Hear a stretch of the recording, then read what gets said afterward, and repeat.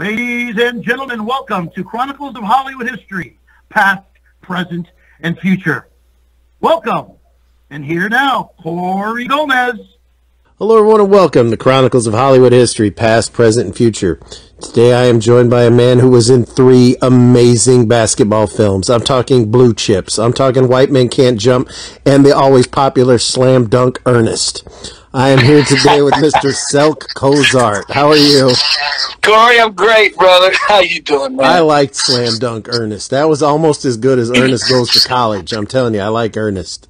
Man, I love Ernest. I I, I loved um, Jim Varney way before I, I met him. I actually thought I would actually be in a movie with him, not you know, and it was just fun, you know. And and, and a lot of people rec- recognize me from that movie, and I'm thinking, wait a minute, I mean, white men can't jump, but they they remember Ernest, and I'm like, I love it. Ernest kind of went down though, because you know, like at first, you know, he had the big movies. Then, then right after his, he was playing basketball, then it was like simple, like Ernest goes to college. Yeah. Or Ernest Yeah. with shoes. Ernest goes Right. to Africa. It was like, what the Yeah. hell are they doing now?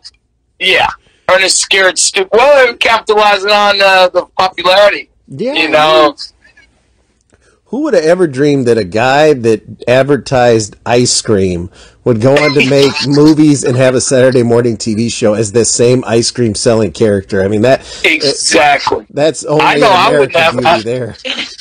You know, and he was very, very talented. He could sing opera. He actually collected all kind of watches, and he brought them with him to Canada where we shot the film.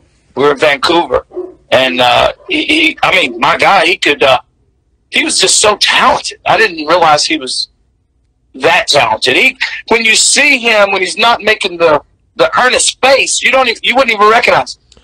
No, he's like a normal. I've seen him in other things other than Ernest, but once you hear the voice, it's like, oh yeah, that's Ernest. That's right. Yeah. We played Uncle Jed in the Beverly Hillbillies on the remake of that. Yeah, he did great. I know. I know. He asked me if I wanted to go uh, boar hunting with him. He goes, Cylk, we're going boar hunting over in Nashville. You, I can pick you up, you know, in a helicopter. We can go on over. I was like, uh, nah, Nah. that's all right. That's boar? okay. Uh, that's all right, Jim. You go ahead. He asked me about 20 times to go boar hunting with. I said, man, I ain't going out in the woods with you, you crazy thing. No, but he was, he was very nice, man, very generous filmmaker. You know what I mean? Yeah. Made sure people uh, were okay. You know, not just the stars, but he took care of people like the extras. He made sure they ate what we ate. He didn't. It wasn't like the extras and then the stars. It was like everybody ate the same thing. He was very um, extremely di- um, different than the, your average Hollywood star. You know what I mean? Well, how did you? I guess this is the, the the first question. How did you get started in acting? You know, I think like every kid in the world, you know, maybe ninety nine percent that you'd see something on television. Like I used to watch Beverly Hillbillies. Speaking of those, um, you know, and things like uh, Gilligan's Island, and just crazy shows. And I just thought, man, they made me laugh. And so I would do plays, uh, you know, for the family, or just one one act plays, one, and uh, and then when somebody would laugh, it just did something to me. I felt like I, I had something that I could really do. And I didn't know until I got older that that's what I wanted to do. So they wouldn't let me audition for, for plays in high school because um, where we were in the South. And uh, if you didn't look, if you weren't blonde haired, blue eyed, uh, you didn't get in the play. Yeah. Uh, yeah, and so that's just what it was. You know, I mean, my it's just it was just that's just the way it was. But you know, things things don't always stay the same. Yeah, it's the Thank way God. that's the way it is here. You know, it ain't right. No, you know, especially you tell a child, you know, you're not because nobody looks like you in the play. You can I'm like, I'm thinking, I, and I knew it was wrong. You know, when the teacher was telling me, because I was thinking, what, what does that matter? I'm playing a character. I'm just, I just happen to look like this. I mean, who cares what? I I knew that was wrong, but I couldn't say anything or do anything. You know, and that was like, that was right in the '70s. You know, that was right. You know, Yeah. right after Vietnam War stuff, and uh, Martin Luther King had just gotten killed, and it, it was, you know, KKK had burned two two crosses in my yard because I went to a Jeez. dance. Yeah, and they hung hung my German Shepherd. And I'm I'm a, I'm 12 years old. I'm 12 years old, going to a little school dance, and um, and all that because I danced with other people, little girls and everybody. It's like what they call used to call sock hop. Everybody just got out and just jammed. Yeah. You know, and like the next day, uh, or the next school day, I went out to, uh, you know, for the bus right outside my house, little drive at the end of the driveway. At the end of the driveway, there was a, a, a cross that had smoke coming off of, it. and I didn't know what that meant. And then there was another one to the left of the house with smoke coming off of it. And I noticed the other thing, my dog was King wasn't there, which always, always was right on the porch ready when I come out. Well, I came back in the house. I told my aunt Frankie, who raised me, I said, "There's, you know, there's these things, these the crosses out in the yard." And the way she said, "What did you say?" I said, "Look out the window. There's, there's two crosses. I can't find King." She goes, "Oh my God!" The way she said, "Oh my God," scared me. You know, I'm like, I'm 11 and a half, almost 12 years old going, well, what happened? And then when my uncle came up, he said, what did you do? Where did you go? And I said, I went to the dance. He goes, oh my God, you done brought the Klan on us. I was like, it's a Klan. I was like, what the hell is a Klan? You know, but I didn't know anything. So, um, it just scared me and they, and they made sure that those crosses stayed up. And I was like wanting to take them down and my aunt said, no, we're going to leave them up. And then to this, and I used to think, why did she say that? And then she says, because I want to see who gets behind us and who does not get behind us in this neighborhood where we've been. Mm-hmm. And I thought, that doesn't make any sense. But then, you know, I'm 11, 12 years old. Of course it didn't make any sense. And I didn't want to go to school because I, I thought after they told me what the Klan was. Oh, yeah. uh, I was like, well, I'm not going. And, and she goes, yeah, you're going. I was like, why? Why? I'm going to kill me. I'm yeah, thinking, what if they're there? Yeah. Yeah, she, she says, well, you know, uh, if you don't go now, uh, we'll never be able to later. And I'm thinking, that makes absolutely no sense to me. But I'm, again, I'm 11 years old, 12. And uh, so I went, and of course, you know, things were said and talked about, and, uh, you know, but anyway, those things like that, I think, help shape me or anybody that goes through whatever that is, just like anything great positively you go through shapes you. You know, I think it's a combination of everything, and we can't, you can't, you can't take like somebody like a Mike Tyson and take away the dark side of Mike Tyson and just say you're to have Mike Tyson because you're not going to have the same Mike Tyson. He is the, all those things. We are all those things. Whatever, you know, we are those. We can't just say, okay, I'm only this. No, you're not. but anyway. Did you? Yeah, uh, did you want to grow up and get revenge? Uh, you know, I did, but I wanted to do it through sports. I said I'm going to be the best basketball player in the world. You know, mm-hmm. you know, you you plan, you work out, and you do what you can do, and and I thought if I'm the best player, they can't, they won't call me names because that that won't make sense. How can they call me names if I'm scoring 30, 40 points a game? Or you know, I just that was my way, and uh, of course it didn't work out that way, but at least that was what I planned. I planned to play college basketball, and then I wanted to become an actor, and then I wanted to become a director. That's what I wanted to do. I had it planned out as a 12, 13 year old. So it didn't exactly happen that way, but uh, yeah, that was my way of getting away from everything. Is trying to be the best athlete I could. As a football player and, and football, my coach told me my freshman year in high school said, uh, you know, I'm my mom's Cherokee and my dad's black, right? And so I, you know, I didn't look like all the other black folks they had been seeing in their life. So I come up there looking like I look, and they were like, "Son, ain't," because I was a natural quarterback, and they were like, um, "What are you doing in the quarterback line, boy?" And I'm like, because uh, I'm quarterback coach. I can throw and I can run. I can, I know how to. They were like, get your butt out of here. You ain't ain't no colored people got no brains to play quarterback. You a wide receiver or a running back or a defensive back, something like that, boy. Yeah, get your butt out of here. Don't you bring that crap up to me again, quarterback. So he actually told me that my freshman year. So you know, you tell a kid that if a coach tells a, a, kid that uh, they can probably believe that. And then the, that year, I'm at the University of Tennessee at this camp, all sports camp, and a guy named Gus Manning, God bless him, uh, was there in the in the in the dormitory, and he saw me play, you know, with the other kids, and he took me up to see a guy playing ping pong with all these huge guys around him. He was beating everybody, and and I, he said, "You're looking at our next quarterback," and I was like, "The black guy," you know? Like, he goes, uh, "Yeah, that's Condredge Holloway," and I was like, "The black guy." He's going to be the quarterback of the University of Tennessee. He goes, "Yeah, son. What's wrong with you? Why you? Why would you say why would you question that? I told him about my coach, and he said, "Well, I think it's time to change schools or change coaches." You know, and this to this day, me and Con- I met him that day, and uh, if freshmen could have played varsity, Condredge would have started that year, his freshman year. But that was when freshmen couldn't play varsity.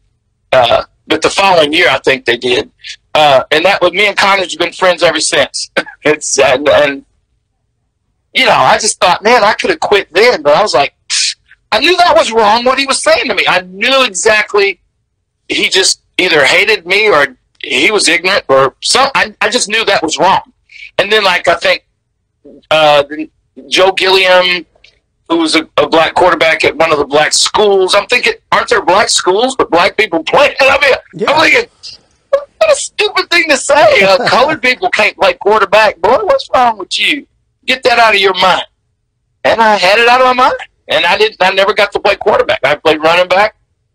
And the only time that I got to play quarterback, I threw a touchdown and ran for another. So it was the last game of my senior year. So you want to talk about frustrating? Well, I knew I could play college football very easy, but my heart was in basketball, you know. And then the coach didn't let me play my senior year after I grew up with all the guys in the same neighborhood, and we all were we were pretty good together because we all knew each other so well by the time we were seniors. So the coach said, "No, I heard you're uh, you've been you know dating these girls around here, and we don't we don't we don't have that here. We don't mix here." I, at first, and and and, the, what's funny is I, I didn't have a girlfriend. I, it was just talk. I was like, I wish I had a girl. I was wishing I had that. But the only thing that uh, he was concerned with, uh, it would be a problem with the team. And they had a vote. And he said, if any, if there's one player that does not want you to play on the team, then you're not playing.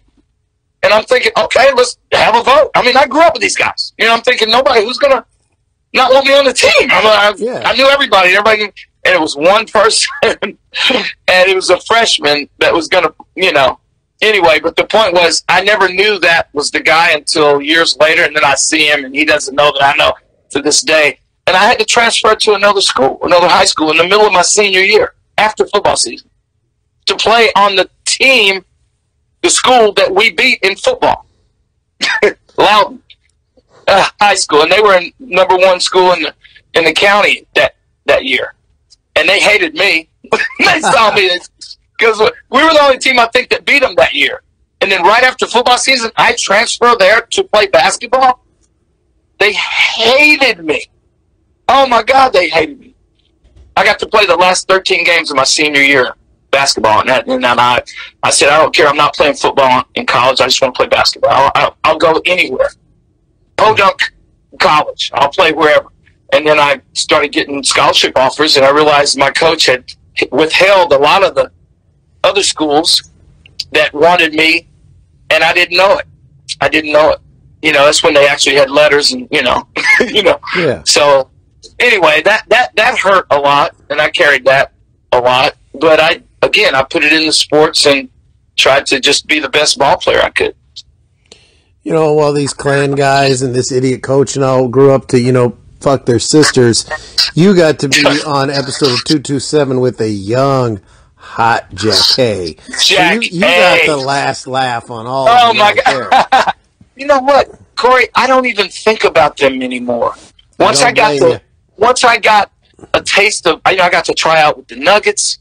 You know, I fractured my foot, but I got to try out and I got to meet all these ball players that I just admire. You know, um, just you know, Alex English. You know, is one of my friends who was at the Nuggets when I was. I mean, Michael Jordan's a friend of mine. I got to Dominique Wilkins and I are great friends.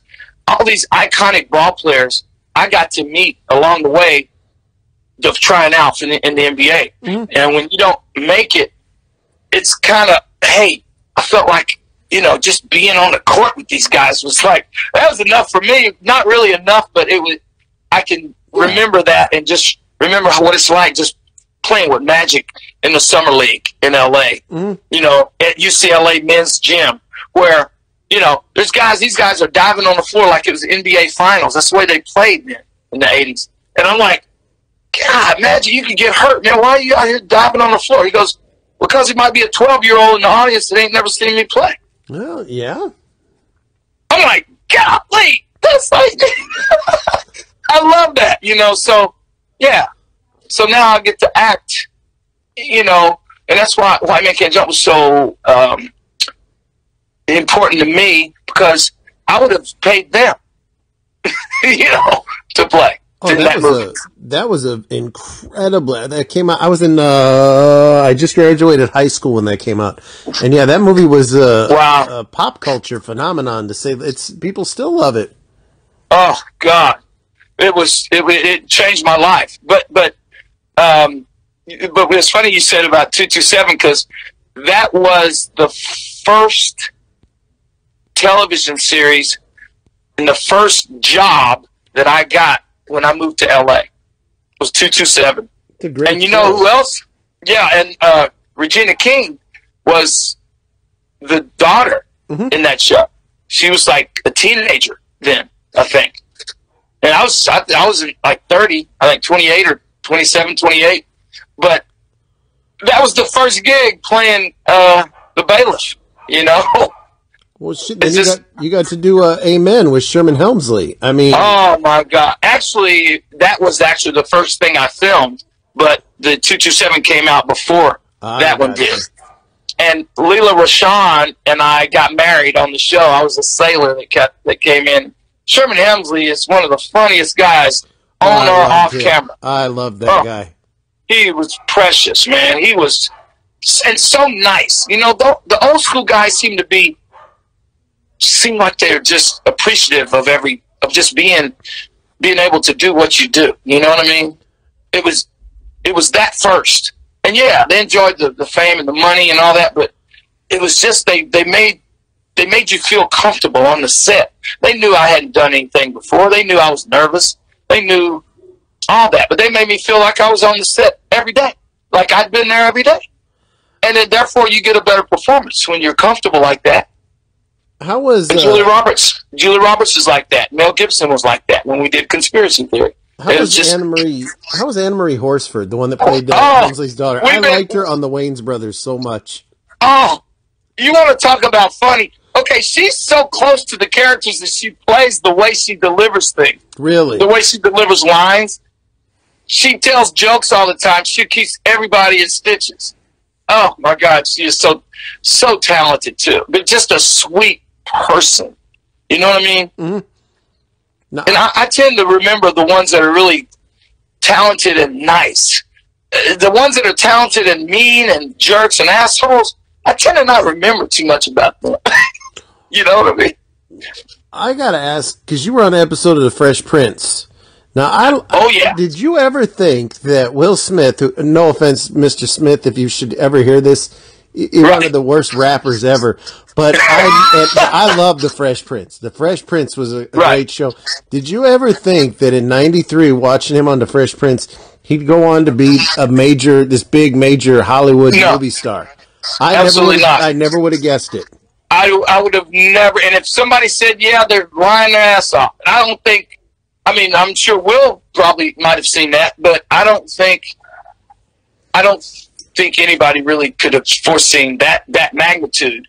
The movies, yeah, I mean, but not like the the force he's become or yeah. what it is, and and he's just so smart. He's a smart businessman, um, very sensitive guy, very uh, you know, concerned, But you know, hey, he's built his brand to be like, good gracious, you know.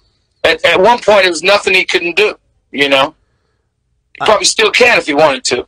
But I got to uh, have a nice scene with Tyra. And I always liked the fact that James Avery was the voice of the Asian Shredder in the Ninja Turtle cartoons. I, Absolutely. I always liked that. He always had to get Uncle Phil to play the evil Oh. Asian in a cartoon back in the 80s. I, I, that always brought me great, great pleasure because you would always see all these Asian films and stuff where it was a white guy. It's like, all right, now I got a, now we got, uh, Uncle Phil is the Shredder. This is awesome. Ah, that's right. I forgot about that. What a cool guy he was. Uh, everybody went to James Avery if they had an issue off set. If there was, I mean, seriously, if Karyn Karyn Parsons and I we dated, she was such a sweetheart. What a wonderful human being too. We're friends to this day. I'm friends with all all of them. I haven't seen Tatyana Ali in years, uh, but uh, Alfonso and I played on the same basketball team, the, the Hollywood Knights. Uh, uh, and you know, and sometimes Will would come and play, but Alfonso played quite a bit. And uh, but Karyn and I ended up, you know, dating pretty serious uh, for a while. But just the whole group was really cool. If there was a problem, they would actually call James, like a real, like James was the level head of all of them. Everybody. I mean, I got it, you know, and and he had this great voice. You know, he sounded like, you know, he's like this. Well, he come from Broadway, so I mean, you know, he's like the real deal.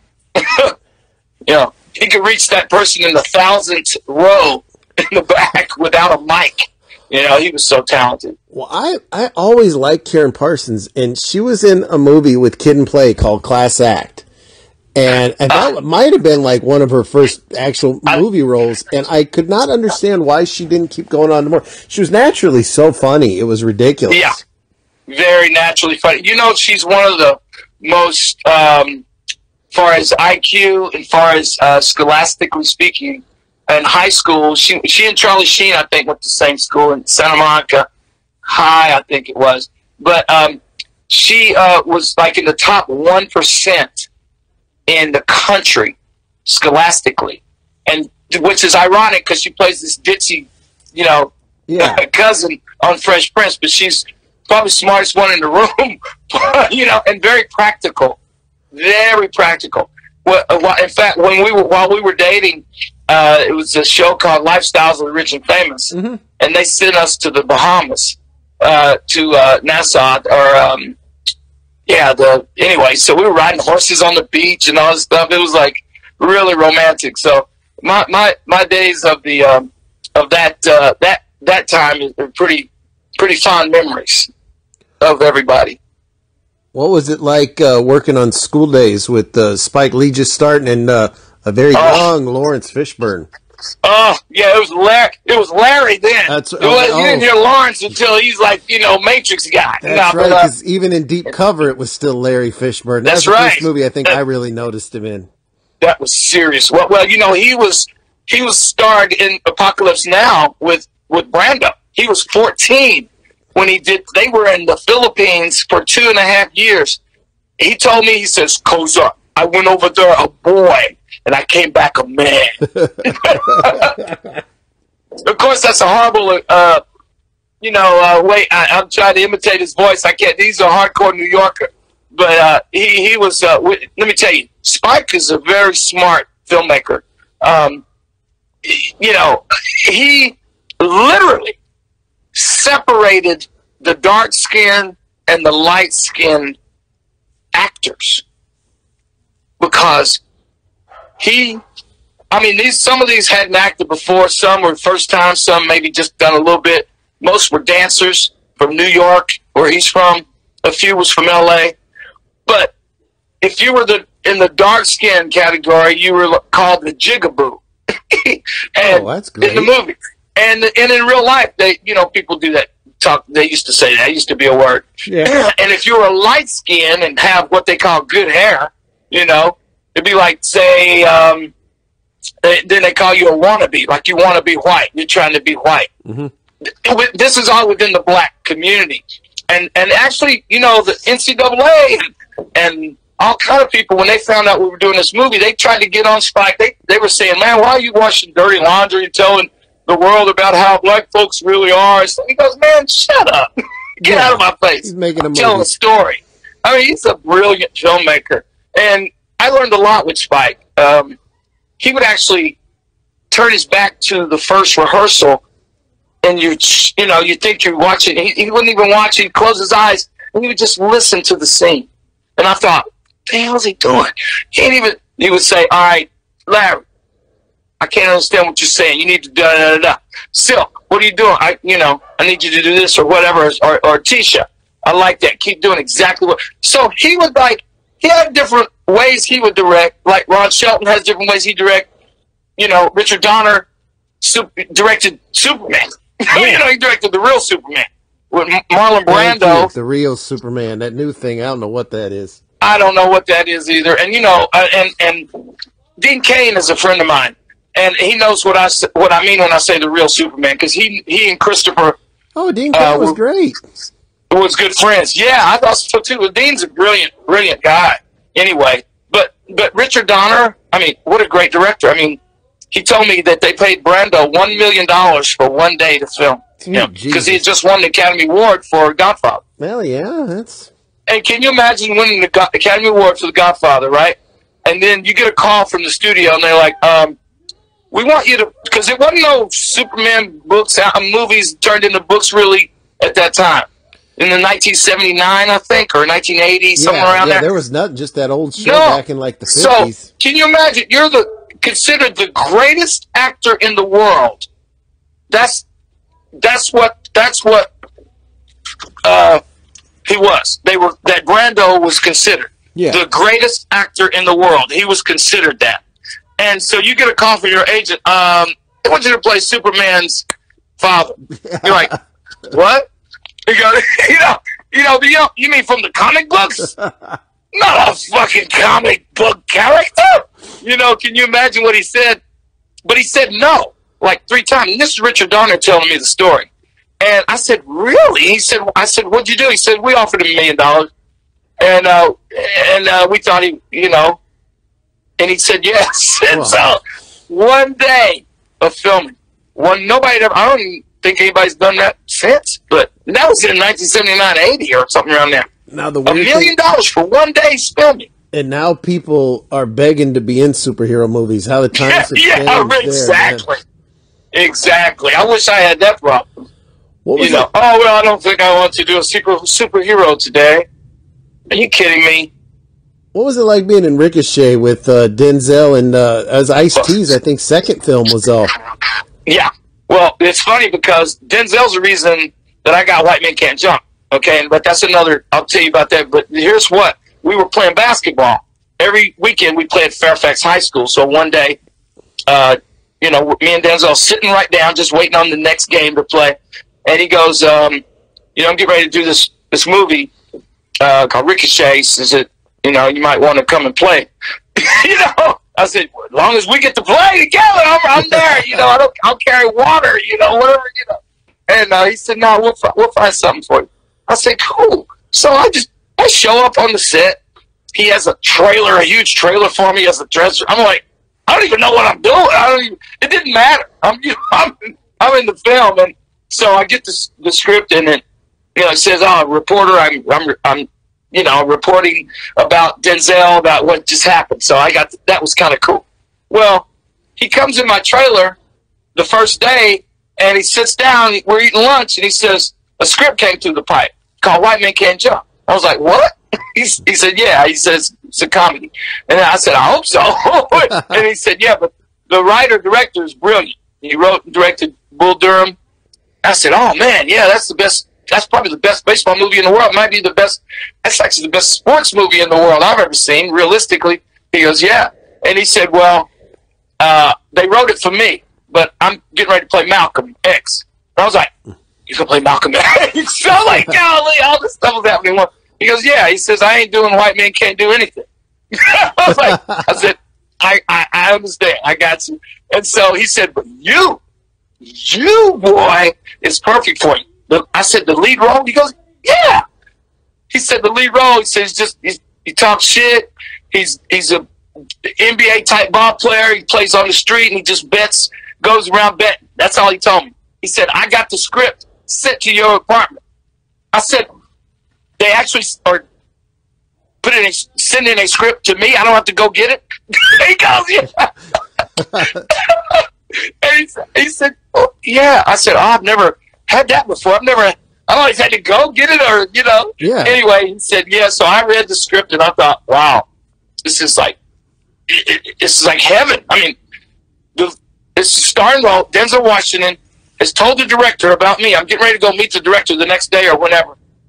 I show up to the audition and Ron Shelton sitting behind the desk and a, a bunch of like 10 uh, Warner Brothers executives, I mean, 20th Century Fox executives are sitting there all in suits. And I'm like, oh, hell yeah, everybody, everybody. And I look at Ron and I go, wait you know, did you play basketball at the Hollywood Y in the in the basketball league? He goes, yep. I said, this guy can play. then I'm, I'm like talking about him, right, to the executive team. They're all laughing. And um, it, I didn't realize he was the same guy I'd been playing ball against for a year. And everybody just knew him as Ron. Mm-hmm.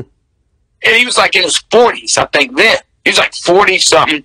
But he played like, you know, Havlicek or, you know, Rick Barry.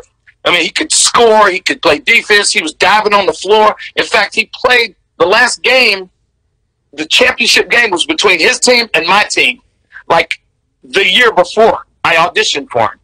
And he had a, he played with a broken hand, played with a cast on. I was like, this guy's hardcore. Yeah. You know, he wrote, no, so I show up and I said, you wrote Bull Durham and you directed Bull. He goes, yep. I had no idea. I had no idea. So I auditioned. He said he said to the whole everybody in the room. He said, "Ah, I already know he can play. I don't need to see him play, but we're gonna set you up with some other other actors coming in." I was like, "Okay." I had no idea that I was in first position. They had me in first position, so they had the next day they had Tom Cruise come to read with me, and I'm like, "Okay." you know, like for the Woody part. Think, yeah. Oh, that Woody wasn't even thought about it at that point. Never Woody wasn't even thought. Woody wasn't even thought about at that point. So Tom Cruise was the first. I didn't know that Denzel and him had been talking. You know, he said, "You're not going to find anybody." He said, "You're not going to find anybody to play this role that can play the game, do all the moves without tricks. Cylk can do all that. Can act his butt off." Da da da da. So Ron read me first day with Tom Cruise. you know, he had never seen me act. He'd seen me play ball, right? Mm-hmm. So my first auditions with Tom Cruise, and uh, Top Gun was out. It was the number one movie in the world. You Yeah. know, it made a billion dollars or something back at that point. And um, I'm thinking, wow. And I'm thinking, damn, I hope he can play ball, you know? and so we act, and I throw the script away, and, you know, we do a little ad lib thing. It's kind of cool. And then Ron goes, okay, let's go outside. So they had a court right outside where everybody auditioned. So me and Tom just shooting around, and, and he gets the ball, and he goes, uh, I really can't play that well. You know, And I'm like, damn, it's a little late now. You Yeah, know, I gotta try. I'm thinking, I'm thinking it's a little late now. And then, you know, I didn't even want to block his shot or any. I, I felt bad for him. But, I mean, I don't know why I did, but I did because he couldn't play that well. You know, to play that character. He, Plus- he plus was athletic, but he he wasn't a basketball player, and it was very obvious. So uh, he leaves. The next day, Keanu Reeves comes in to read with me, Okay, that could have been really good. and Speed was just like probably the one or two or a second best number one movie at that time. It was like the biggest stars in the world. It was like, and I'm thinking, well, they're reading with me. And there's nobody else. I'm thinking, and Denzel was calling me, "It's yours, baby. You know you got this. You know you got this, baby. This is you. Ain't nobody know. nobody can." And I'm like, "Yeah, yeah, yeah." You know, so yeah, Keanu comes in and he can't play hardly at all. In fact, he almost hit me in the head going up for a layup, just just in the layup line, you know. And uh, so uh, Keanu leaves, and and Ron Shelton he says, "Look," he says, "I I don't know what these guys are doing playing growing up, but they sure wasn't playing basketball." But anyway, he says, "I'm gonna," he says, "The studio's not gonna let me use you unless I have a big white name. He said, so I'm going to Chicago and I'm meeting with John Cusack. He can open the movie and I can use you then. I was like, cool. And I'm praying, John, please be able to play. Please be able to shoot a jumper or something, you know. He goes up and, he, and Ron calls me when he comes back and he says, he takes me to lunch and he says, Cusack and I had a good meeting. He said, but we went across the street from where we were having lunch and just to shoot around and uh, it's not going to work out. I was like, golly. And I said, so what are we going to do? what are we Yeah. going to do? He goes, well, we. now he says, um, we're gonna have, we're gonna go with the guy by the name of Wesley Snipes. And I was like, who's that? He goes, they did a movie called um, New Jack City, and um, that it's making a lot of money for the studio, which was Fox. One of And- the greatest movies ever. It was absolutely. And he said, um, that's who uh, they're pushing. But he said, I, I don't know. He says, I, I, I don't want to lose the film. He says, uh, Joe Roth, who was running the studio at the time, he says, Joe's, uh, Joe's gonna, you know, he says we can't go with with you uh, the, as a lead. He says, find something else. He said, unless you get a big name and nobody's come up. Well, Woody and I auditioned that evening. He Ron calls me in and he says, "Okay, um, this next one I want you to have some fun with. Throw the script away toward the end and just see how you can go off book because he's a television guy. I want to see him see how he can like you know ad lib and stuff." I was like, "Okay." I didn't know Woody Harrelson was walking in the door. I was just standing, you know, in the in, waiting on. who- Next thing, Woody comes in and it was like, "Hey." I was like, "Hey, Wood!" You know, I was like, "Oh, I felt like I already knew him because you know I was already a fan, you know, for years." And he was so cool, and we just hit it off. And uh, toward the end of the audition, I, I threw the script down and started ad libbing stuff. Like, "Man, who do you think you are? You know, white man can't jump." You know, I started ad libbing stuff.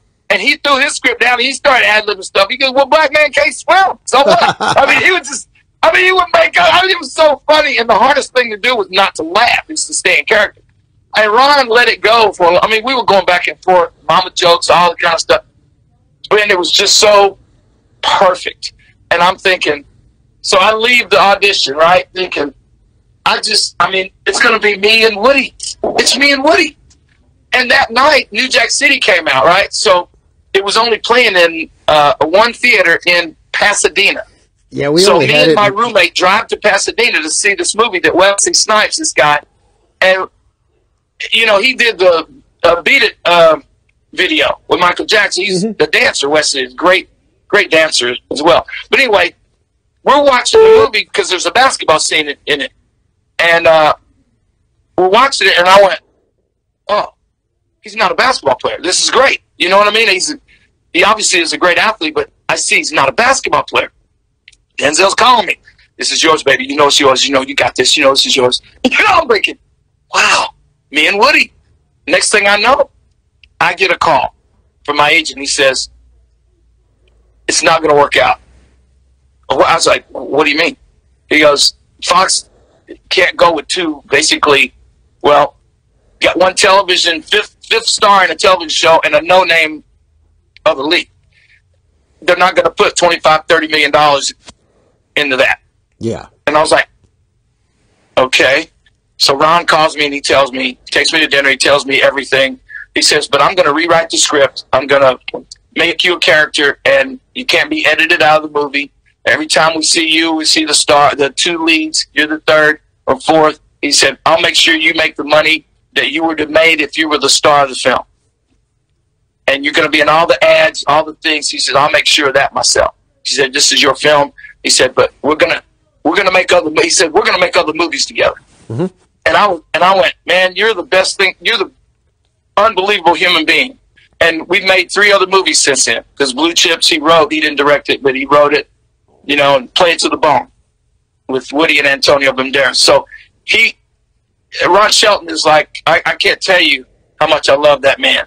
Um, just for being a friend, and a, and I've learned a lot from him as a director, you know, because that's what I want, you know, it's what I'm doing now.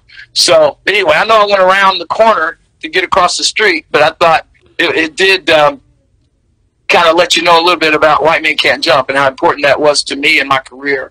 Because it kind of after that, it just uh, everything took off. You know, I was in the studio system. You know, uh, you get to travel all over the world. People in Africa recognize you. Like you, you recognize me? You go, oh yeah, go back to SeaWorld. I'm a, I, I was amazed at, at different countries how they knew the lines and everything. So, you know, anyway, that, that, that film just it, it totally made my career. No question about it. The no one question. thing, it really shows you what a good actor Woody is because he played that hayseed on Cheers. I mean, he was a, he was Absolutely. a step below a hayseed in White Men Can't Jump, and then he's Larry Flynt. He's uh, Oh. Zombieland. You know, he can play all these parts, and he's so good at them. Natural He Born is. Killers. Absolutely phenomenal, awesome actor. He could do anything. And he was, he's actually so, I mean, everything he does is like he puts everything into it. It's all about what he's doing at that moment. It's like the, mo- you ask him what the most important thing is, like, what, I'm, what am I working on right now? you know, because what's done is done, you know. What was Wesley like? You hear mixed. Um, Wesley is a is a very um, pure individual that wears his personality on his sleeve when he when he chooses to show you that. You know what I mean? It's very honest. He- He's not a liar. He's not a. He's like straight up. He, he's real hard, but he's also a soft. You got depending on. He's very. I like his honesty, and um, unbelievable actor. Uh, he's one of the best actors in the world. No question about it. He could do anything. He, he could do anything. So You know. you realize you got to do Ricochet with Ice T, and Ice T was in uh, New Jack City with Wesley Snipes, who you were in with White Man Can't Jump. You have an Ice T connection going on there. Oh, love Ice T. Haven't been around him a lot, but every time I've been around him, we talk. We say that about. Wait a minute. That's the connection. You know. I'm a huge, huge like I'm not a big rap guy, but I loved Ice T. I, I think Ice T is a great actor. I, I Uh-huh. want to interview Ice T so bad, just so I can say, Ice, you've been on Law and Order for 15 years, and every time there's a murder, you always go, "I can't believe that." It's like how, you're the worst detective ever because you see the shit every day. You, you never believe what happens. That's hilarious. That's funny. But you, you know what? While when we finished, we had just finished White Men Can't Jump. But we needed maybe one little. We just really finished. We were just doing post production, and then the Rodney King thing happened, Yeah. and L.A. was shut down. We we couldn't release the film. That that film had to stay for I don't know how long before we could release it. Right during all that that stuff, because that was the biggest story in the country. I mean, can you believe that? I, having that movie in the can for Yeah. weeks or months, and you're like, golly. Yeah, because generally when a movie goes in the can, it's because it's shit, not because of you know violence somewhere. You know that's uh, Right. That's very weird. in the can, meaning I just meant that means like it's done, finished. Uh, that's a term in movies Oh that I've no, heard. You'll see some. My friend will be like, "Hey, you know, like like when that New Mutants movie came out. You're anxious for New Mutants?" I was like, "Well, they filmed it three years ago, and it's been in a can on the shelf." No, I'm not anxious for it. There's a reason when things get delayed three years. Come on. There's a reason. Yep, there's a reason. But that was that was scary times. Oh, yeah. it was a little scary. All the riots and yeah, that was that was scary times. What was uh? Because you did Blue Chips with Nick Nolte and uh, Jack, Shaq. What what Shaq's first film. What is Yep. what is you know? I love Shaq. I, I'm I too. on and off basketball. I mean, of course he was Shaq, but I love Shaq. I watch He's Shaq when he kid. does Shark Week. I mean, is he a fun Oh. guy? Oh, twenty four seven. You gotta you gotta stop. You'll laugh so much. He's so naturally funny, and you you don't even realize he's a giant. You know, he he just blends in. You wouldn't believe it until you realize he's a giant. We were filming in uh, uh, Indiana that at that state at that arena, that's a huge, big round arena where you know all the college games were, mm-hmm. the scene, and um, Shaq wasn't uh, old enough to get into clubs, clubs, right? So uh, nobody thought about it. So me and Shaq became friends, and another guy, his friend named Dennis, that he played ball with at LSU. Um, we went, got a car, and went to uh, went to this club was supposed to be jumping. Right? We get there, and there's a line. So the guy said, "Oh man, you can just go up to the front, man." So we go up to the front, and the doorman goes, uh, "Shaq, I, I can't let you in, man." I mean, there's like a hundred people in the line, right? Everybody's like, "Can I get you a hundred? And he's like, "What? What you talking about?" He says, "Shaq, we, we all know, we all know you're not old enough to." He said, "I could lose my job." He said, and and then I think I said, or Dennis or somebody said, "Are you serious, dude?" I mean, I'm sure everybody here is not 18 or something there, or whatever, Yeah. not 21. And he goes, "Man, I can't. I'm sorry, man." And Shaq, this is so, so cool. Shaq, we started to walk away, and Shaq turns around to the guy and says, "Okay, but." I'm, I'm, I'm gonna fuck. I'm gonna fuck the Pacers up on the first time I play. and I think the first game, the next game, with you know, because he played with Orlando Yeah. Magic. So the first game, I think he scored like 38 points, had like 100 rebounds, and about all his block shots. He killed me. I just thought that was so cool. I mean, he just turned real quiet and says, "Okay, but I'm gonna fucking pace Pacers up when I come up." I was like, "Damn," you know. He's, you know, I, I I don't have a good week until I at least get to hear him go four rings, Chuck. You know, I, I- Yeah, that, I that know, makes me go, I know, I know. That's so funny. my son's favorite YouTube. My son, he's 11. He's, you know, of course, YouTube guy. His Yeah. favorite YouTube video out of all of them is when Shaq eats the the one chip challenge. Oh, and and he's just like it's nothing to me, and then all at once like that. I mean, like Shaq's like one of his because he's always like, Dad, when you gonna interview Shaq? I was like, Well, Shaq and I don't really uh, know each other very well. So Hey, you never it's- know. it's You never the, know. The odds of this happening, son, don't hold your breath. but no, I mean he's a monster, though. I mean, I, I, I mean he's he's way bigger than any basketball player I've ever seen. Oh, he's a he is a monster. And you know what got me is like you know, and I'm I was in pretty decent shape when we were doing blue chip, so I was playing, you know, I was playing ball in the summer pro leagues and stuff and everything, just you know, and competing. And so I'm thinking, man, I can't wait to get that. When we went to um, to film in New Orleans, uh, you know, we got to play a lot. So in between, you know, days that we wasn't filming, we'd be, you know, Rick Fox, you know, Bobby Hurley, like some of the best ball players in the country were there. You know, uh, the guy who played Ricky Roe. I mean, he was a, he was a ball player from Europe. I mean, so a lot of these guys were like pros. And so the first day I ever played against Shaq, I'm thinking, you know, I was throwing the ball off the backboard and dunking it, just showing I could jump and all that stuff. He's like, all right, you bring that shit in here. You ain't gonna do that no more. And I was like, you know, just playing with me, you know, just joking. I'm like, not gonna really do that, you know. Well, I got, I, I see a clearance right, and I go and I'm just gonna throw it off the glass and try to catch it before he gets to me. he went up. All of a sudden, the whole rack disappeared. All I saw was a chest up there. I mean, it was like he covers so much space, and I'm thinking you could shoot a shot on the side of the lane, but he could get to you before the ball gets to the hoop. I didn't. I'd never played against somebody like that. You literally. I mean, I don't see how any big man could stop him if he really wanted to play. I, I, I don't. I just don't see it. No, I mean he was he was ma- I mean it was massive. I mean it was just I mean Seven never- one, three. He was about three twenty, and he was lean when we did blue chips. He wasn't. He wasn't heavy because he was right out of college. You know. I remember they brought him into WWF wrestling years ago, and he was bigger than half those guys. I know. He's just standing there towering over all of them. It's scary. Hey, the first day we went to breakfast where we were staying at the hotel in New Orleans, right? And Nick Nolte was there.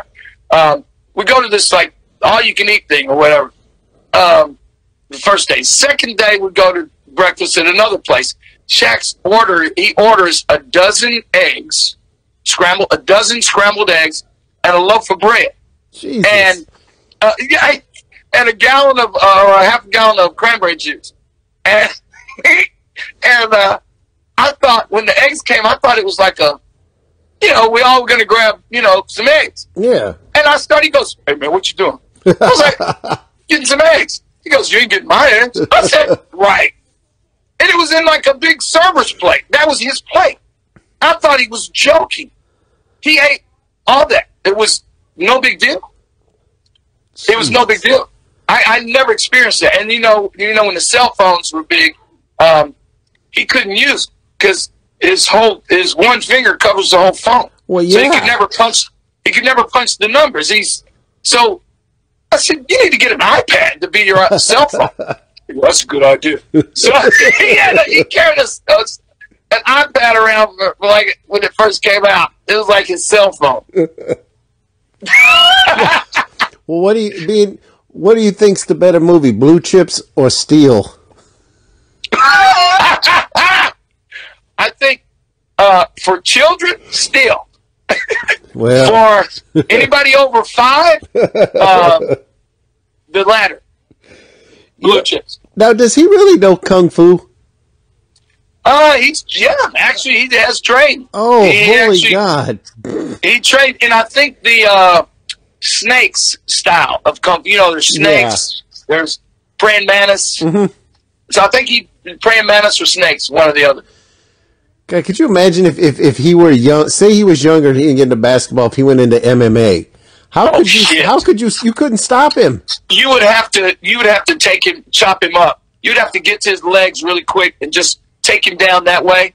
But you, it, but as soon as you get hit, it's over. Oh yeah, I mean that would be the case of you'd hear the "Let's get it on" and the towel from the corner would be falling in the ring. I mean, yeah, exactly. Hey, I don't know. I mean, I don't.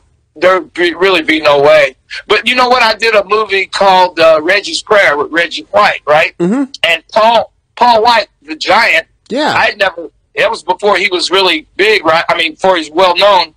He was like twenty three or something like that, and he's seven five, uh, five hundred pounds or something like that. And I'd never seen a man that big.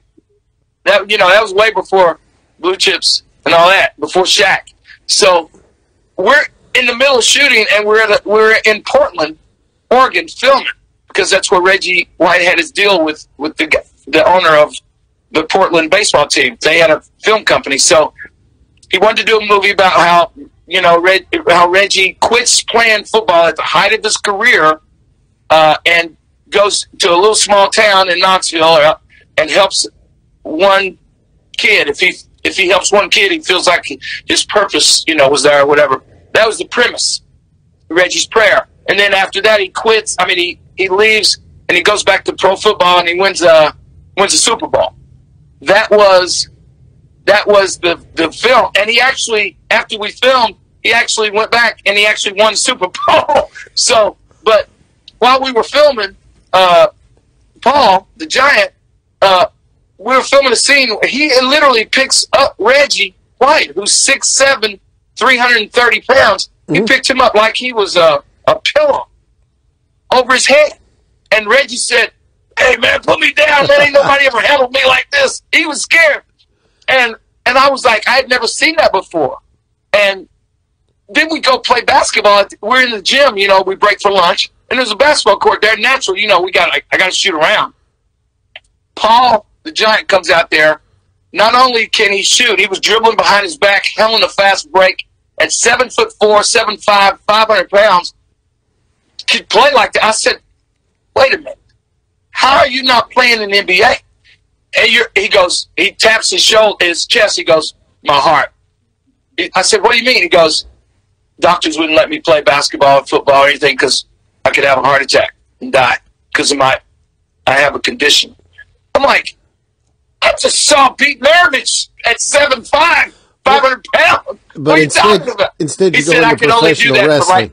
like, he said only thing I could do for maybe 30 seconds or a minute, and then I would have to sit down. He said I wouldn't be able to play in a real game. Mm, yeah. I was like, oh my god, I couldn't. Believe, I was like, I never, yeah, I never experienced that before. You know?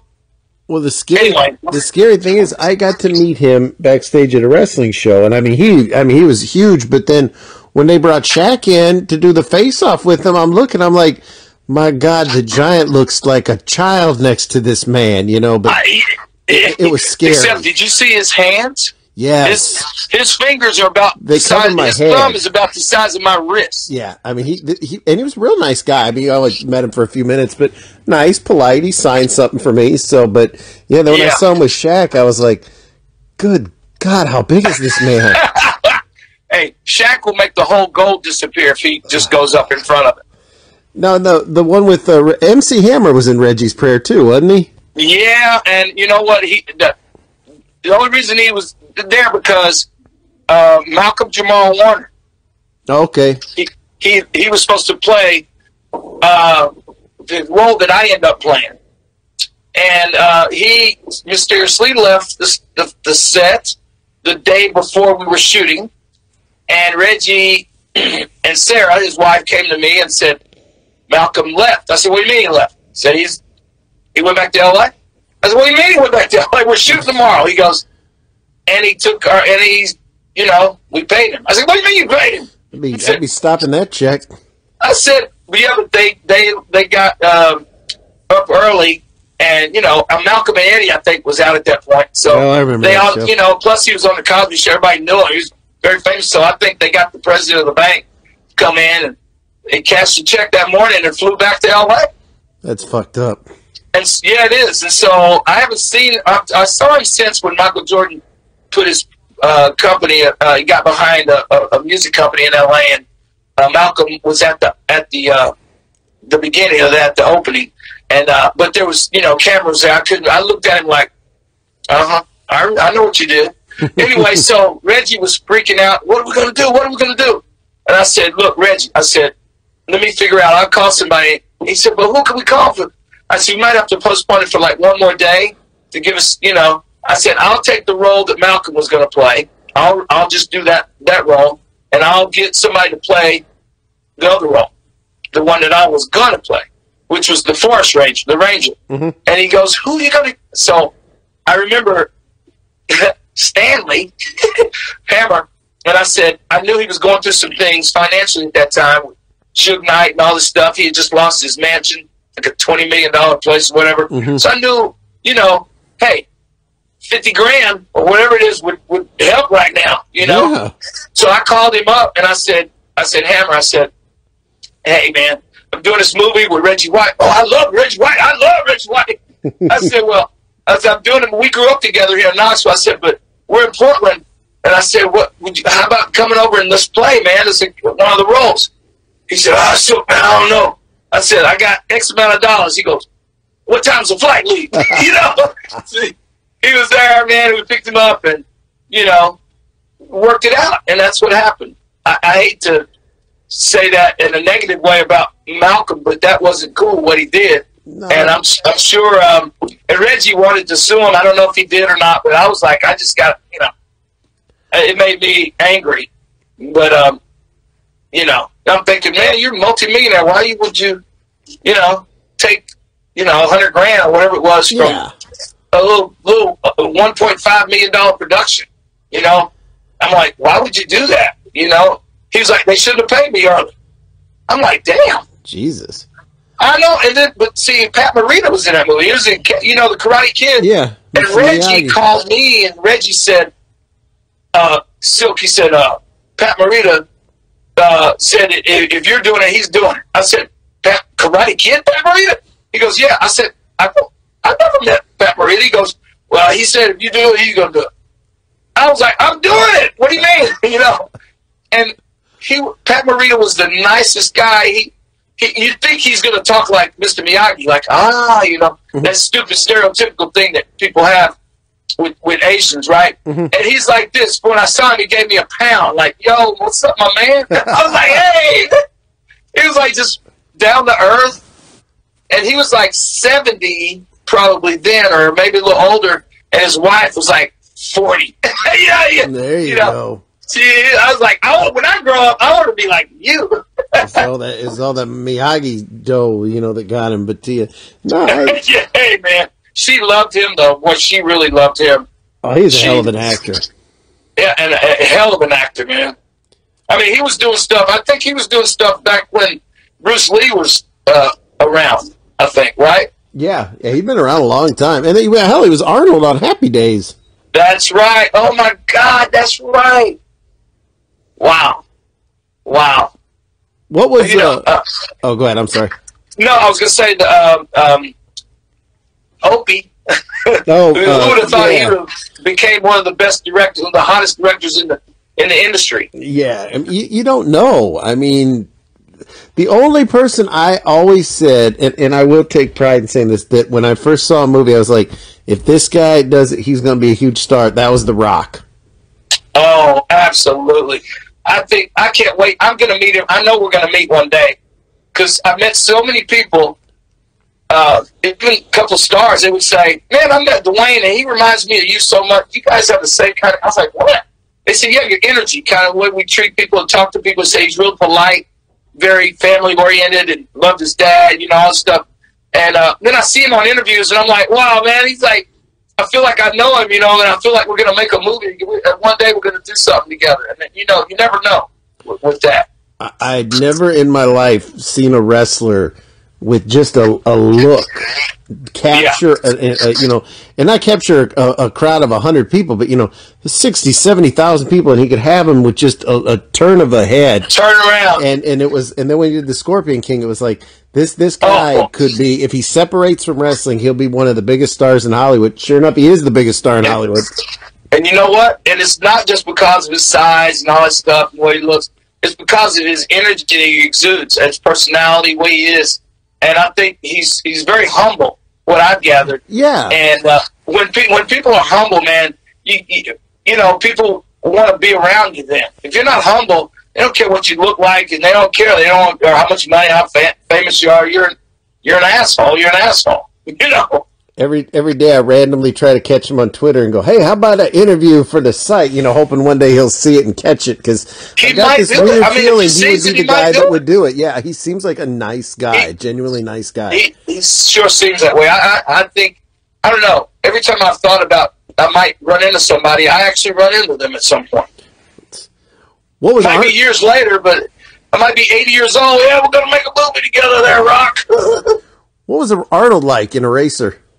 Oh, he was very funny. I didn't realize he was that humorous. Um, you know, and I had heard stories about him having a house here in Knoxville, where I'm from, because he married, you know, Maria Shriver, who's you know a Kennedy basically, and they had a store called Shriver's. It was a big, big store in in the South. So everybody used to say, "Oh, Arnold Schwarzenegger has a house in Knoxville." I was like, "Where?" And nobody could ever tell me. So one day we're filming. Uh, me, I was in the makeup chair, he was in the makeup chair next to me, and we were just just sitting there talking. I said, "Arnold," I said, uh, "I heard you you you come to Knoxville and you have a house out there." He goes, "Ah, no, I love Knoxville, but I don't have a house there." I was like, "Those lying sons of bitches in Knoxville," you know. And I, I couldn't wait to come back home and, and call up people that said, "Oh yeah, Arnold lives over there." And I was like, "You lying? I just made a movie with him, so shut up." But he- he was he was very very um, professional and very he had the first Hummer I had ever seen, all black, and he drove it on the set at, at uh, Universal where we were filming, and it's a black and all the windows were black tinted and you couldn't even see, and all of a sudden he pulls up to my um, where my dressing room is was you know the trailer there inside the studio where you're filming.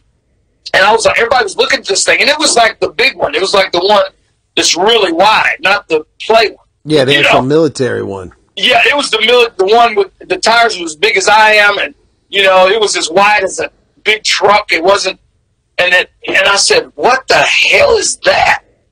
And then all of a sudden it pulled right in front of my dressing room, and the window slowly rolled down, and it was Arnold in the driver's seat.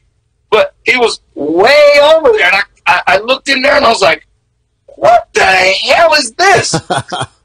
he goes, "This is the new shit." This is the shit. You got to get one. I said, "Are you crazy? I can't afford it. I don't make twenty million dollars a movie, fool." You know, it, but he was like that. And then next thing you know, Stallone has one, and uh, because they were partners in in the um, you know the what he, the hotel um, slash you know memorabilia.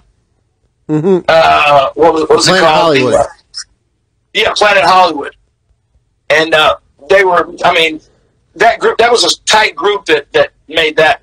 I was with um, with the guy that created that and uh, who brought it brought it to them actually, Brian Kestner, and he has a twin brother named Boyd Kestner, who's one of the stars of GI Jane. Uh, but he and uh, and uh, the Outsiders, uh, not the oh, not the the old one, but the the a newer a newer one. But Boyd Kestner, a great actor, and Brian Kestner, he's a really good actor too. But he became more of a business guy, and um, he brought the idea um, to a, a film executive who produced a lot of Arnold's movies, and they formed Planet Hollywood. And I was right there while they were doing that. I was like, wow, that's how this works, you know. And I was like, good gracious, they just got together and said, okay, yeah, we're gonna do. This. I got an idea. Oh, okay, well, I'm gonna do this like this and have this the hallways like this. When you everywhere, you, they're all the same. And uh, like a year later, it was like the biggest thing in the world. I was like, are you? That's how you do this? So I got spoiled thinking that all business deals are just you call up your guy, he calls up his guy, and you go to the bank and you make you know you and you do it. I wish it was that easy, but that what an education though, you know, being around those those types of business. And that's why, you know, sports and, and, and this business got me really, really uh, more so acclimated to the other side of the camera as I got older. Because it, it became more of a business than ever, you know. Because I realized I'm not going to act forever. You know, I'd like to be 80 years old and still playing somebody's grand, granddaddy, you know, or something. Yeah. But uh, I, I, but I, I, working with the great directors like Ron Shelton, Richard Donner, Spike Lee, and Warren Beatty. I mean, all those guys, uh, you learn, and, they, and and Richard Donner let me direct a couple of scenes in Conspiracy Theory. Ron Shelton let me direct a, a few scenes in Miami Kansas. I mean, it just made me so honored just to be on the set. I would get up every day and just watch where Ron would put the cameras, even if I wasn't in the scene. I would just get up and watch how they set up and where, where you put the microphones. They would hide a microphone in a plant that was between two actors talking, and you'd never see it. Hmm. You're like, wow. You know, I mean, little little things that you know make sense now as a filmmaker. I'm like, wow. Now I can put all those things I've learned. Now I can do that as a director now, and I, you know, you call these guys up, and they, you know they get on the phone and they tell you, you know, you go over the scenes with them, and you're like, wow, how how fortunate am I to to have that? You know. Let me ask. So I wanted you. to make sure I'm available to young filmmakers or you know or young actors. You know, I coach actors. I you know I teach here in, in Knoxville. I teach wherever. Usually, other cities, other actors will fly in for a couple of days, and we'll work on work on their scene. You know, kind of tighten them up and everything. That's really a high for me. You know. Now, let me ask you, because 15 years ago you were in a movie. Let me backtrack a little bit. In, Uh-oh. in 1991, the greatest biker movie in the history of biker movies came out. That movie was called Cool as Ice, starring Rob Van Winkle, Vanilla Ice, who I am actually a huge fan of. I met him. I seriously doubt he remembers me. Uh, in 2005, you made a movie with him called The Helix. It has been 15 years, and I have yet to see this fucking film, and I, I and I've wanted to see it for 15 years. Guess what? So have I. Oh, I wanted what 15 happened? years as well. Did it like? Did somebody I've lose never- the negative? I've never or- seen it. I've never seen it. I don't think it's ever been released. I would like to see it just just to laugh, to see how funny it is. It, you I mean, know, I, I played a I played a hundred and twenty year old man. it's a takeoff of The Matrix, only with a lot of weed, Yeah. right? Yeah, I mean, why? Why do you think it never came out? I mean, clearly same reason. The same reason most movies don't. Uh, there's no money to market it. Oh. Well, couldn't you market it enough with? I mean, Vanilla Ice is it? I mean, all these years later, he's still a name. I, I hey, you're preaching to the choir. Why doesn't he buy it? I, he should. He's got the chips. He- When he, he take, every time he shows a house, it could be playing on the TV. you know, and, and the thing about it is he's got millions of fans that would want Oh. to see that. They don't care if it's a good movie or not. You know, when you got fans, they're your fans. I mean, I saw him in concert when he was the the rapper, you know, Ice Ice Baby. I saw him in concert when he was doing thrash metal. I mean, I Yeah. watch his reality show where he flips houses. I mean, I'd see Yeah. it. I mean, so so do a lot of people. You know, he seems was he pretty? He seems like a really really cool guy, is he? very much so. Very down to earth. Uh, very present. Like when you're talking to him, he's not all over the place. He like really looks looks at you when you're talking. You know, instead of like yeah yeah yeah looking around. Very present.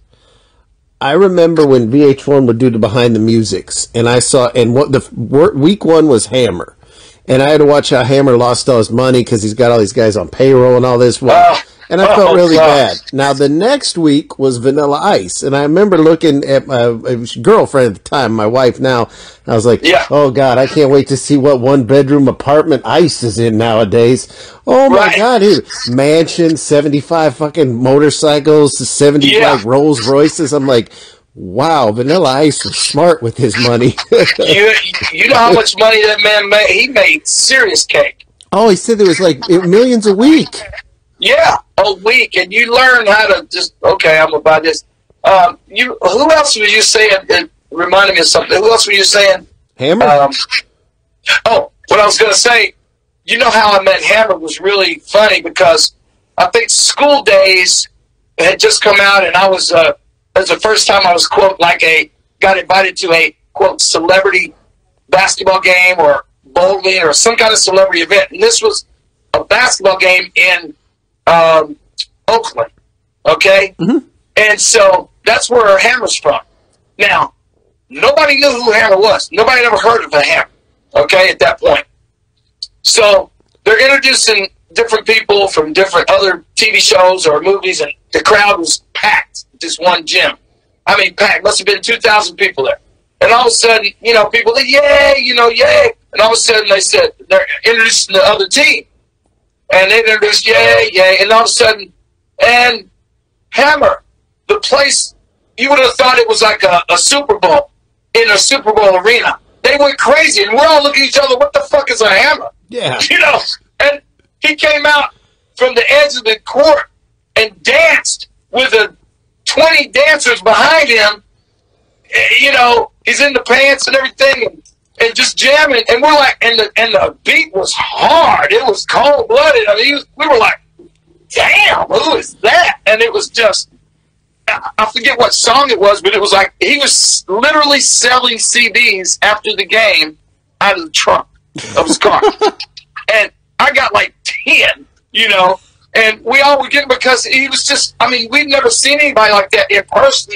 I mean, he did, literally danced around the, the gym floor while he was being, when he was introduced, like he was like the king of, of the, of the whole world. Everybody was like, I mean, everybody stood up and we were like, who the fuck is this? I mean, cause nobody on our team, so-called celebrities got it. You know, maybe one or two people went, yeah, I saw that commercial.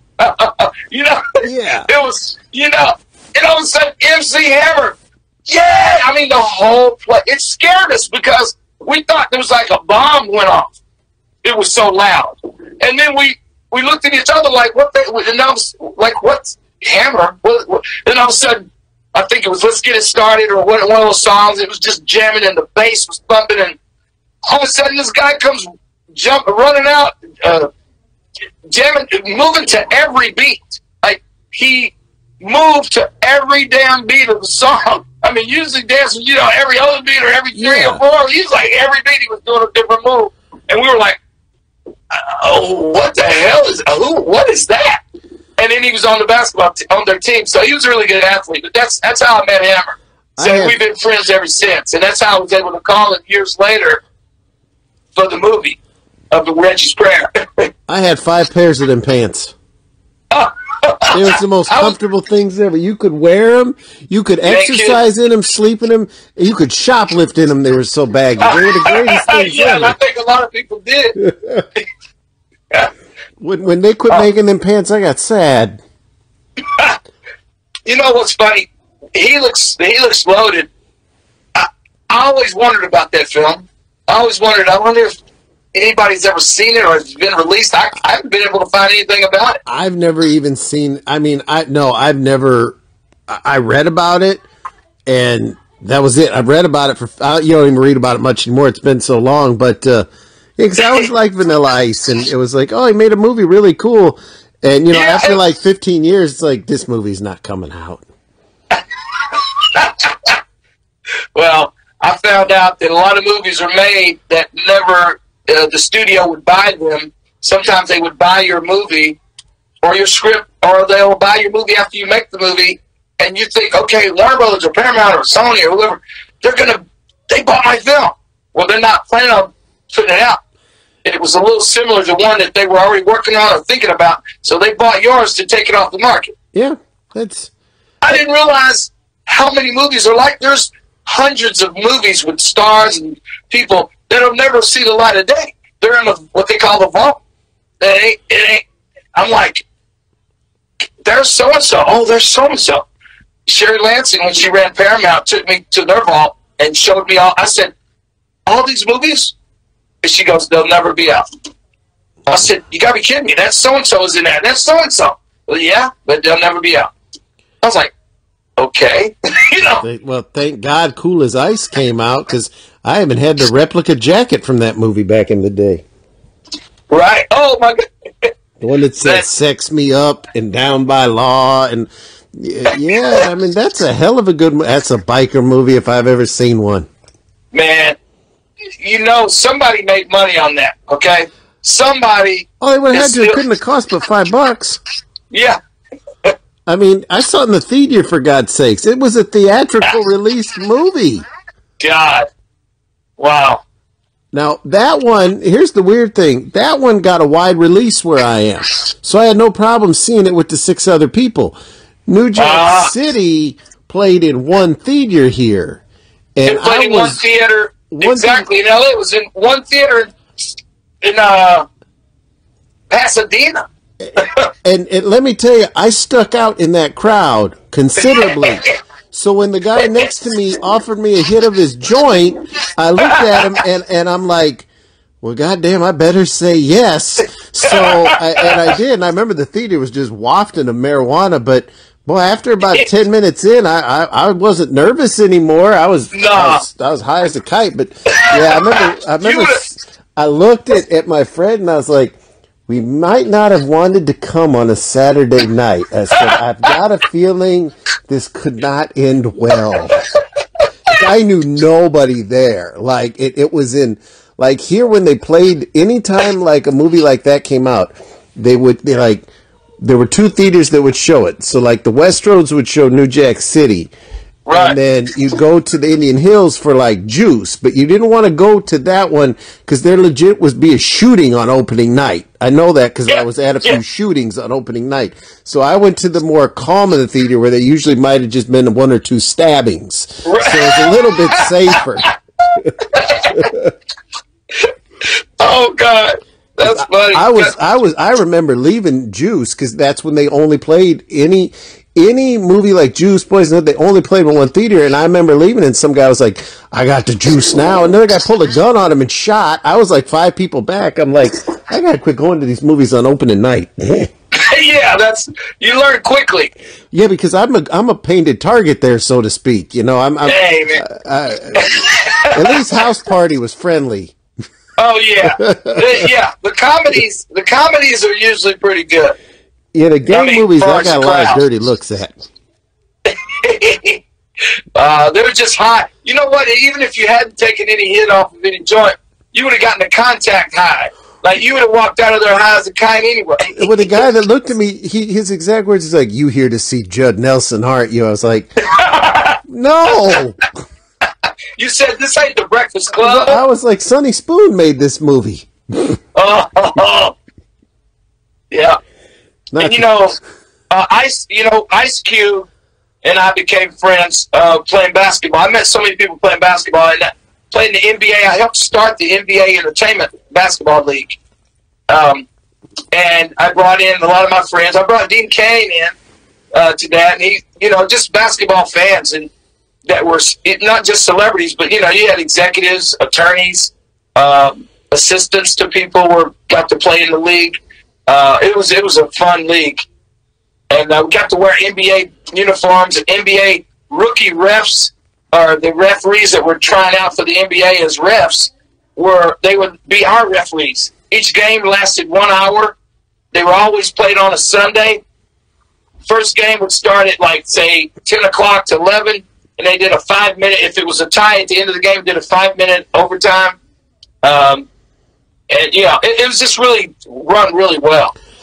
Dean Cain's a great actor. He he never got the my opinion, but you know, I, I, if I was making a movie, I'd cast him. He never got the the, the, the, big leading breaks, uh, and you know, and I still to this day see him. I mean, when my son was younger, you know, when, the, when like the family straight to video movies would come out, Dean Cain would be in them, and it'd be like, my God, this guy hasn't aged. You know, I mean, he's I know, I mean, he's a good, real good actor. Well, you know, his father is a really good director. Directs Chris Cain is his name. He's a great director. He does a lot of TV. I don't think many movies. He might do movies. He does movies, but I, you know, I think it's he's more known for television directing. Um, but yeah, he came up, and you know, of course, he went to s- school with with Brooke Shields. They were engaged, you know, at, in college. Nice. Uh, he's an Ivy League guy, you know, so he's very intelligent. Had a tryout with the bull with the um, uh, not the Jets, but the um, it might have been New York Jets or Giants.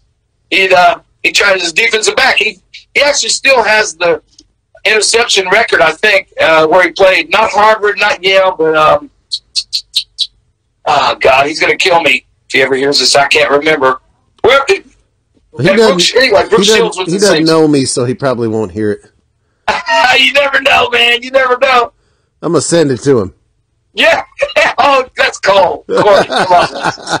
That's cool. no, he was he was a good Superman. Yeah, he was. I know he's just a good. He's a student. He's a student of the business. So, you know, he can write, direct, produce. He can do all the whole nine. Um, it's you know, I, I always tell people, you know, you can always get better, no matter what you do. And if you just think you've already arrived and you think you're the best, that's when you stop learning, man. You know. Yeah, I, I tried to interview him once, but he's one of those guys that has a publicist that has like 175 other clients, so they don't even read the emails. Uh, That's well, okay. One day, we'll, maybe we'll we'll call him on the phone and see if we can get him. We'll talk about Superman. Yeah. See what he thinks yeah, and, of um, the new Superman, because I think he thinks he, he, he is a real good guy all the way around, man. All the way around. He was in those talking dog movies my son used to watch. Oh, really? Yeah, they like family movies. The dog who there was like the dog who saved Halloween, the dog who saved Christmas. he played the robber in every one that kept getting paroled to do more criminal, cr- more crimes, but he always got thwarted by the dog. It was him and Big Pussy from The Sopranos, uh, Vincent Pastore. Oh my god! They were a great, well, they were terrible criminals because they kept getting stumped by the dog. But I remember my son was like, these guys are funny. And I was like, well, that's Big Pussy. And he's like, what? And I was like, no, forget I said that. And I was like, oh shit, that's Dean Cain. Big Pussy is the oh. greatest name for a character in television history. That is, that's, a name and a half right there. I, I'm, I might be doing directing a project um, that is uh, about um, this guy named Cannonball that was uh, that uh, Babe Ruth kind of discovered from the the the black uh, base the Negro League baseball leagues at the turn of the century, and um, he could he could throw the ball. They called him Cannonball. He could throw a baseball so hard it went through a bale uh, uh, bale of hay one time. Jesus! And uh, he struck out like three games in a row. Nobody could hit him. Three games, like three games back to back. Nobody hit the ball. Somebody fouled one or two, and Babe Ruth fouled one off of him. Babe, he struck Babe Ruth out on on um, I think nine on on nine pitches. Wow. And Babe Ruth said, "This guy, you got to see this." And he was 19. Uh, anyway, and I thought. I, I called Dean. I said, Dean, I need a letter of intent, man. I want you to play Babe Ruth in this movie. Called uh, about this guy, da da da. And he goes, done. He sent me a letter.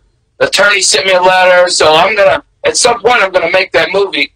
But Dean Cain perfect Babe Ruth because Babe Ruth was very unique. He wasn't prejudiced like a lot of, of the blacks, like a lot of people were at that time. Mm-hmm. And he would he started what they call barnstorming, where they would, you know, the, the major leagues wouldn't have blacks obviously in, in in their games. So what Babe would do, he would play him, and he would get a few other white players and play on Sundays at the black uh, stadium with the black players, and they would make more money because Babe was there, you know, uh, than they would, and and the you know the people, uh, the the commissioner of the baseball, the baseball league, the white league, uh, major league, they hated that, but they couldn't say nothing to Babe because he was the best player in the world. Mm-hmm. so I thought that would be a good uh, story to tell. Oh yeah, he'd be great in it.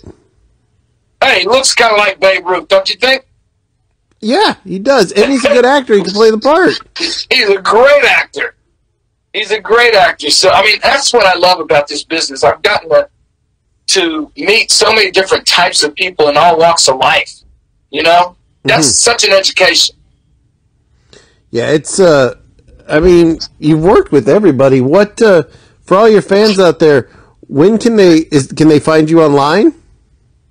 Um, Do you have like a website or Twitter or anything like that? Uh, you know, I will pretty soon, but uh, you know, I like just you know until I'm ready to put a film out, which is getting ready. I got a movie I'm directing that I directed. We just we just won some film festivals. It's about it's called Ball of Confusion. It's the history of basketball and its global impact on society. Mm-hmm. So not a lot of basketball playing, but it's a lot of people in there you'll know, like Rick Barry, Michael Jordan, um, Oscar Robertson is my um, one of my business partners in this.